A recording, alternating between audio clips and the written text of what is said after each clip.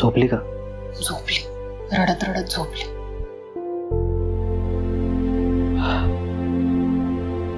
चल बाहेर जाऊन बोलूयात आपण.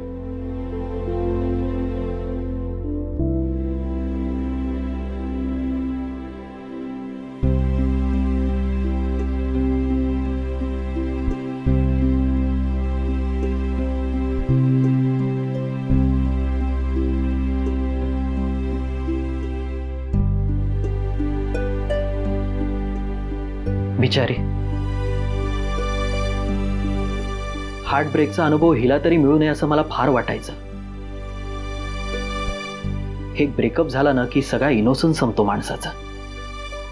आधीच तिच्यावर आईबाबांच्या डिवोर्सचा सगळ्यात जास्त परिणाम झालाय. मला आणि यशला निदान बोलायला कोणीतरी आहे? हिशा तशी या बाबतीत कोणाशी कम्फर्टेबली बोलूच शकायची नाही. त्यात हे सगळं झालं तेव्हा ती खूप लहान होती. खूप घुसमट झाली बिचारीची. कदाचित तिच्यासाठी साहिल हाच तो आउटलेट असेल. तसंच असणार. हे प्रेम वगैरे काही असेल असं मला तरी नाही वाटत. बघ ना काय मुलगा आहे. आई बाबांचा डिवोर्स झालाय त्यात इशूचा काय दोष आहे? अनघा आपल्यासारख्या मध्यमवर्गीय घरात एवढ्या मोठ्या वयात एखाद्या बाईचा घटस्फोट होतो. ही घटना खूप मोठी आहे. एरवी त्याची ग्रॅव्हिटी आपल्याला जाणवत नाही. पण आपल्याच घरात असं काहीतरी घडतं ना तेव्हा आपल्याला कळतं. आई नावाची बाई घर सोडून जाते हे कोणालाच पचत नाही. आणि पटत नाही. तुलाही नाही. मलाही नाही. मान्य करतो. आपलं एक आयुष्य आपण ठरवलंय ना. मुलं सासू सासरे यात इतकी वर्ष रमलोय ना. मग आता अचानक हे सगळं सोडायचं कशाला? याचा सगळ्यांवर परिणाम होतो अनघा सगळ्यांवर, सगळ्या घरावर. आता ईशाचं काय झालंय? तिला वाटायला लागलंय की आई निघून गेल्याने तिला आपली काही परवाच नाही. आपल्या असण्या नसण्याने कोणाला काही फरक पडत नाही. आपण इतके महत्वाचे नाही आहोत. आपला जगून काही उपयोग नाही. त्यातून ती तो वेडेपणा करायला गेली. वाचली म्हणून ठीक आहे नाही तर काय झालं असतं? आणि मला माहिती आहे तो साहिल सुद्धा यातूनच आलाय तिच्या आयुष्यात. आणि तो गेलाही याच कारणाने. म्हणजे अजून त्रासदायक होणार आहे तिच्यासाठी. आईने खूप सिरियसली या सगळ्याचा विचार करायला हवा नका ती परत आली ना? तर अजूनही यातले बरेचसे प्रश्न आपोआप सुटतील. पण तिने तिचा इगो सोडला तर? अभि इगो आणि सेल्फ रिस्पेक्ट यात खूप फरक आहे. टॉक्सिक सिच्युएशन मधून बाजूला होणं म्हणजे इगो नसतो. स्वाभिमान असतो. तू शब्द काही वापर. मुद्दा एकच. तिच्यापेक्षा तिची मुलं तिला जर जास्त महत्वाची वाटत असतील ना, तर तिने परत येण्याचा विचार करावा. पण तिला जगात ती स्वतःच सगळ्यात महत्वाची वाटत असेल, काय बोलणार आपण?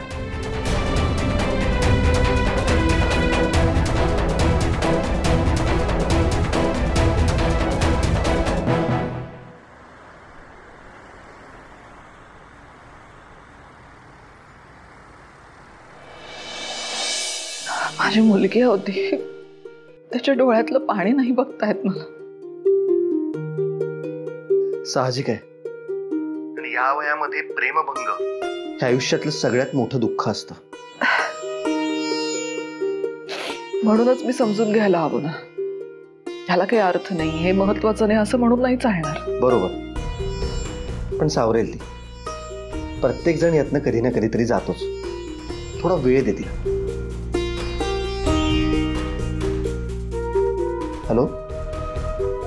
अरुंधती? आशुतोष आशुतोष कधी कधी असं वाटतं की मी फक्त स्वतःचा विचार करून घटस्फोट घेतला का? माझ्या या निर्णयामुळे माझी मुलं बिथरली. त्यांच्या आयुष्यात खूप मोठा बदल झाला. यश आणि अभि दाखवत नसले तरी माझ्यामुळे त्यांच्यात वाद झाले, भांडणं झाली. यश माझी अति काळजी करायला लागलाय. अभि माझ्यावर नाराज़ आहे. त्याला असं वाटतं की आईने सगळं अनघावरती सोपवलं आणि तिने पळ काढला. त्याच्या दृष्टीने त्याची आई स्वार्थी आहे. आणि यशला माझ्याशिवाय दुसरं जगच नाही. आणि त्यावरून गौरीत आणि त्याच्यात खटके उडतायत. कदाचित मी मी घर सोडून आले नसते तर यातलं काहीच झालं नसतं आशुतोष. माझी मुलं जास्त सुखात राहिली असती. पण ह्याला जबाबदार कोण आहे? तू. तू काय गंमत म्हणून ते घर सोडलंस का? तू अनिरुद्ध आणि संजना यांच्या बरोबर त्या घरात राहू शकली असतीस का? एका घरात तुम्ही दोघी राहणार होतात का? पूर्वीच्या काळी बायका राहायच्या तशा. एवढं मन मारून जगू शकली असतीस का तू? पण आई मुलांसाठी काही करू शकते. बरोबर. मग परत जा. परत जा आणि राहा तिथे. दररोज अनिरुद्ध आणि संजनाचे तमाशे बघ स्वतःचं आयुष्य आणखी कॉम्प्लिकेटेड करून घे आणि या सगळ्यामधून सुख कोणाला मिळते तेही बघ. हे बघ अरुंधती. मी स्वतःला तुझा मित्र मानतो. त्यामुळे या सिच्युएशनचा मी जास्तीत जास्त तटस्थपणे विचार करायचा प्रयत्न करतोय. आपण असं समजू की तू त्या घरात परत राहायला गेलीस. मग तू काय करणार? नोकरी सोडून देणार? कारण चोवीस तास तू जर घरात असलीस तरच तुझी मुलं कम्फर्टेबल असतात. मग तू त्यांचं प्रत्येक काम करणार सतत त्यांच्या मागे पुढे करणार का? आणि मग तुझी मुलं त्यांना हवं तेव्हा बाहेर जातील फिरायला जातील गावाला जातील परदेशी जातील तेव्हा तू काय करणार? आणि यामध्ये स्वार्थी कोण? तू का तुझी मुलं?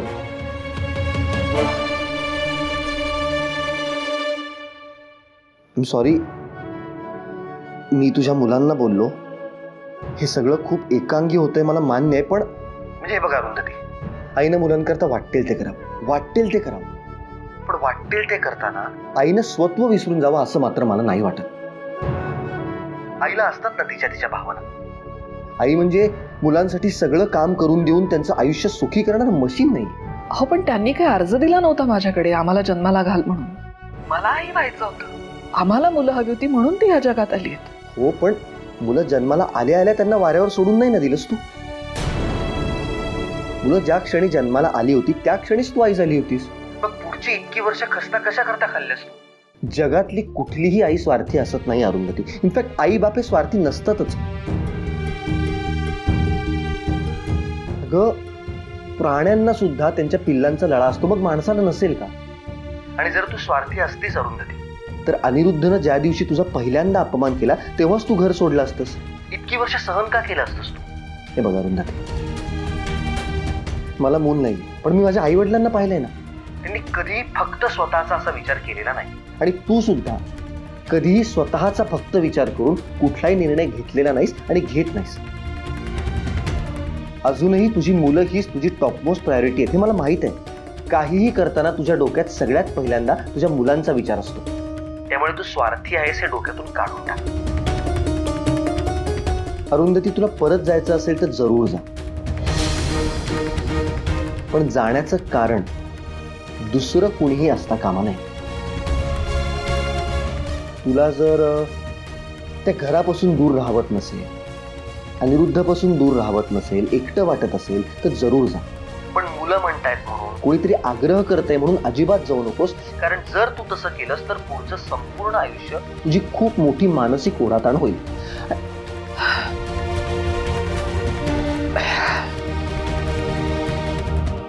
एनिवे ईशाकडे लक्ष दे. मी आता बरा आहे मी उद्यापासून थोडा वेळ ऑफिसमध्ये जायला सुरुवातही करणार आहे. जमलं तर तुझ्या घरी येऊन जाईल चालेल. बरं दोन दिवसांनी आपलं ते रेकॉर्डिंग आहे ना? माझी पुरेशी रिहर्सल होणार नाहीये पण आपण कॅन्सल करूया का ते? नाही कॅन्सल नको करायला. पोस्टपोन करूया. मी बघतो विचारतो. ठीक आहे. Okay bye good night good night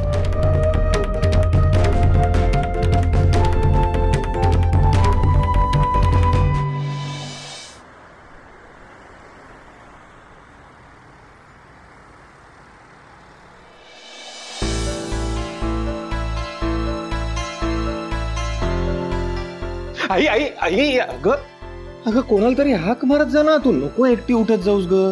बोल जातो ना. अरे मला माहित नव्हतं. तू स्वयंपाक घरात आहेस ते. मी? पूर्वी कसं अरुंधती सतत स्वयंपाक घरात असायची. एका हाकेसरशी पळत यायची. आता स्वयंपाक घरात कुणी असेलच असं नाही. तरीही कोणाला तरी हाक मारत जा प्लीज़. ठीक आहे. बस. हळू. आई ग.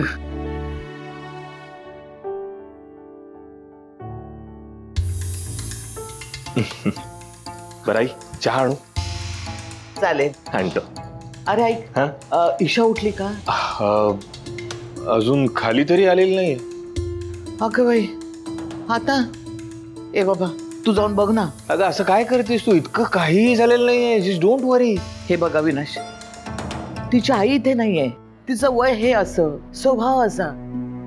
डोक्यात राग घालून वेड्यासारखी काही वागली तर. एकदा झालंय.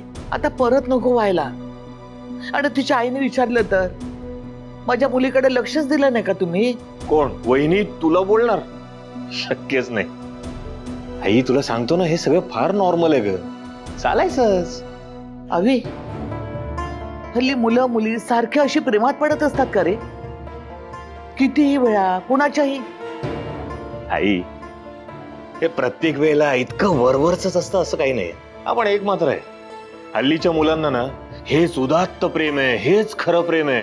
माझ्या आयुष्यातलं पहिलं आणि शेवटचं प्रेम वगैरे वगैरे असं वाटत असतं. पण मग तसं नसतं का? नाही असतंही. पण काय सांगू? ही आजकालची मुलं ना फार हुशार झाली त्यांना आयुष्यात प्रेम म्हणजे सगळं काही असं अजिबात वाटत नाही. आता सॉलिड प्रॅक्टिकल आहे ती मुलं. त्यांना त्यांचं करिअर महत्वाचं आहे. त्यांना त्यांची लाईफस्टाईल महत्वाची आहे. पूर्वीच्या काळी असं वाटायचं प्रेमात पडलं की संपलं. आता हेच पुढचं आयुष्य आहे. आजकालच्या पिढीला असं नाही वाटत मग हे चांगलं का वाईट? ते नाही सांगता येणार मला आता. पण आई ईशा ना इतर चार चौघींसारखी प्रेमात पडलीये त्यातून बाहेरही पडेल. सावरेल ना रे ती. अरे बापरे सावरेल ना ती वगैरे इतकं काही झालेलं नाही बरं का. आई आपली इशू खूप शहाणी आहे. आणि तिच्या पुढे अजून केवढं आयुष्य पडलंय.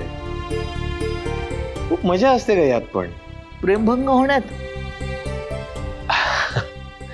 म्हणजे पुढे जाऊन कदाचित वाटतंही तसं. इशूलाही वाटेल कदाचित. आणि आपण सगळे आहोत ना घरात? तिला काय असं रडत बसू देणार आहोत का आपण? ते तर आहेच रे. पण बघितलंस ना? बिचारी काल किती रडत होती. मला तर इतका राग येतोय ना त्या नालायक मुलाचा. माझ्या समोर असताना तो दोन थोबाडत लावून दिली असती त्याला. आई, हे बघ खूप कोणाच्या? कोणाच्या श्रीमुखात भडकावणार आहेस तू आता? तोच होतो. मला शिकायचंच नाहीये असं म्हणणारा. तेव्हाच लक्षात आलं होतं माझ्या या मुलाचं काही खरं नाही. द्राक्षाची लागवड करून दारू बनवणार म्हणे. आई कांचन. अगं आता त्यांच्या कुटुंबाचा व्यवसाय आहे तो. म्हणूनच. अशा कुटुंबाशी आपल्याला संबंधच ठेवायचा नाहीये. उद्या लग्नात सगळ्यांनी विचारलं, की ईशाचे सासरे काय करतात? तर काय सांगायचं? दारूचं गुत्ते चालवतात असं? बघा, मी काही फार अभिमानाने हे सांगू शकले नसते. आलं लक्षात? आता हेच बघा. अभि आणि अनघाच्या लग्नात आपण सगळ्यांना कौतुकानं सांगत होतो. एकदा जाऊया आपण आमच्या व्यायांच्या साड्यांच्या दुकानात नाही तर शेतावर. तसं. एकदा या आमच्या जावयाच्या गुत्त्यावर. असं म्हणू शकलो असतो का? नाही ना? मोडलं ते बरंच झालं. आई प्लीज़ ना हे सगळे आता तू ईशा समोर नको बोलत बसूस. प्लीज़ बरं? का? काय चुकीचे येतात अगं सगळ्या बरोबर गोष्टी सगळीकडे कशाला बोलायच्या? तिच्या समोर बोलू नकोस. तिला वाईट वाटेल. एक्झॅक्टली आणि आपण ना तिच्या समोर जितक्यांदा हा विषय काढू ना तितकाच जास्त विचार ती करत बसेल. नको ना. आपण सोडून द्यायचं काय? नॉर्मल वागायचं. नाही नाही. ती अरुंधतीकडे जाते ते बरंच आहे. अहो अरुंधती सतत बाहेर असणार. ही एकटी घरात काय करणार? मी पण जाते. नको. अगं मग काय उपयोग? आई आई चिल चिल. हे बघ इशूची परीक्षा संपेपर्यंत वहिनी सुट्टी घेते नक्की ना? नक्की. बरं आहे तर. बरं चहा आणतो. अप्पा घ्याल? जो काय? आलोच. अरे पण तू कशाला करतोस चहा? अगं अनघाला आज जरा लवकर जायचं तिची काहीतरी कॉन्फरन्स वगैरे. पण इतक्या गडबडीत सुद्धा ती बिचारी पोहे करून गेली ए चहा बरोबर पोहे आणू? हाण हाण हाण हाण आलोच. काय हो? आज फिरायला कुठपर्यंत गेला होतात अगं तो नवीन पूल झालाय ना हा. तिथपर्यंत गेलो होतो. आणि येताना पेपर घेऊन आलो. म्हटलं तुझं भविष्य बघावं. माझं कशाला? ईशाचं बघा ना. ईशाचं भविष्य उज्ज्वलच आहे. तुझं महत्वाचं आहे ते वाचतो आधी. अहो काय लिहिलंय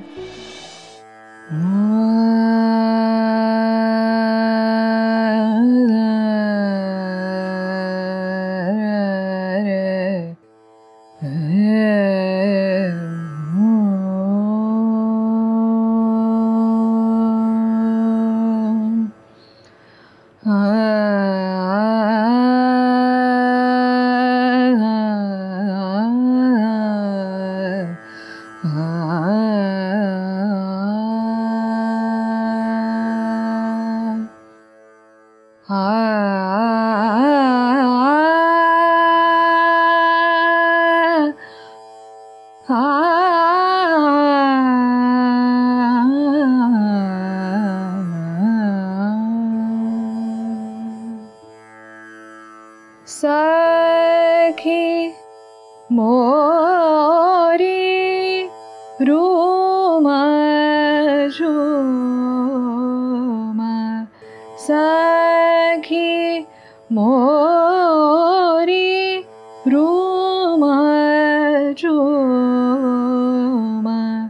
बादाल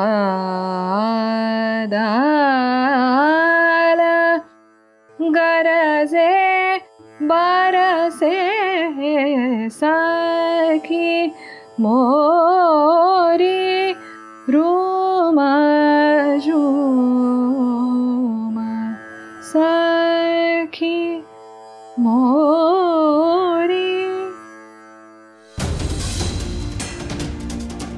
ईशा। ईशा काय झालं? ईशा. मला खूप आवडतो ग तो माझं खूप प्रेम आहे त्याच्यावर. अशी कशी विसरू त्याला? कधीच नाही जमणार आहे.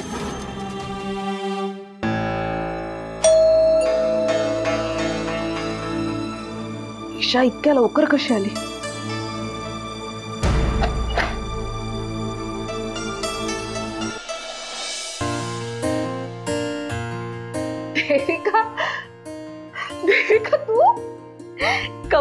विजेचा झटका.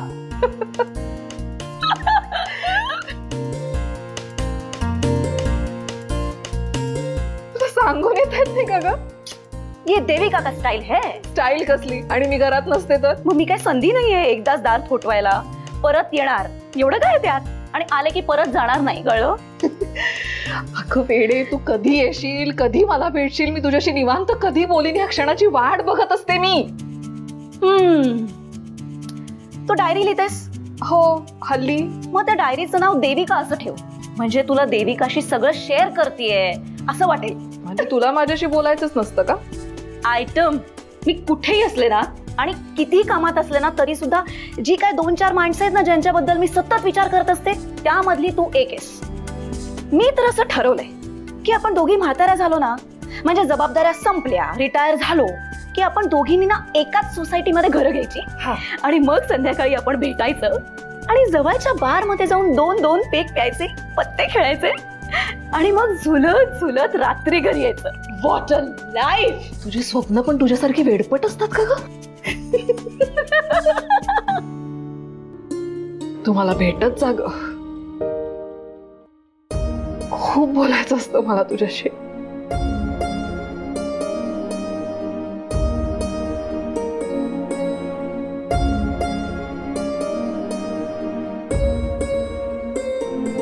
अरे मी नसतेस म्हणून तू रडतेस आणि मी आले तरी तू रडतेस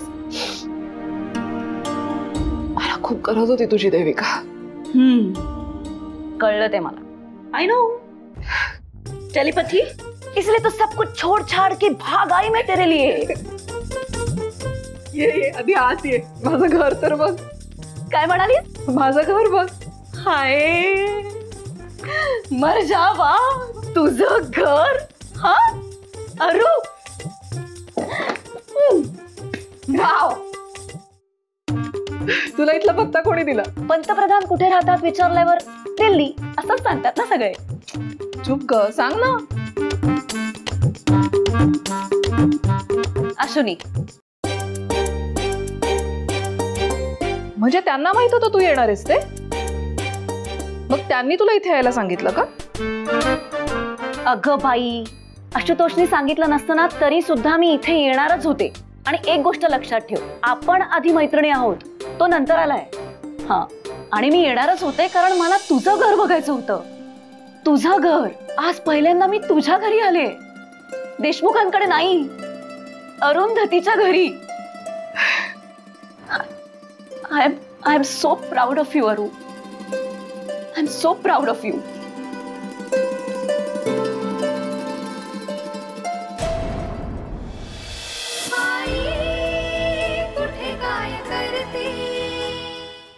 धमाल मनोरंजनाचा आस्वाद घेण्यासाठी बघत रहा स्टार प्रवाहचं यूट्यूब चॅनल आणि हो मुळात ते चॅनल आधी सबस्क्राईब करायला विसरू नका.